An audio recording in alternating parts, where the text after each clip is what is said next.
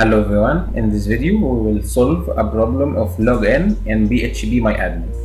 Here I downloaded phpMyAdmin and I will extract it here.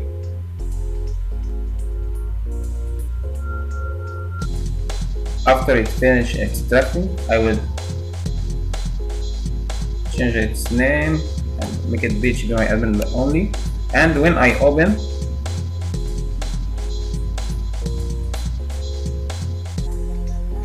here and write localhost phpMyAdmin it comes this screen log in with the password forbidden configuration see allow no password. If I wrote write root and click go it will the same error.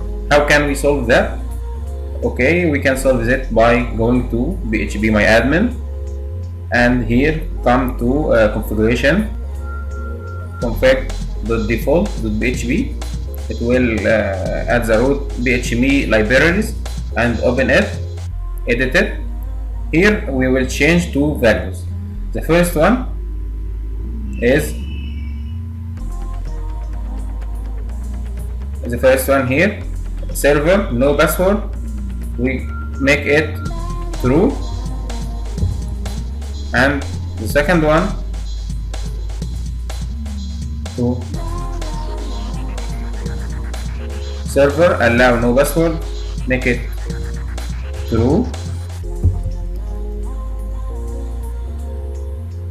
And save. And come back to our browser here. Refresh it. And write root and press go. And it will open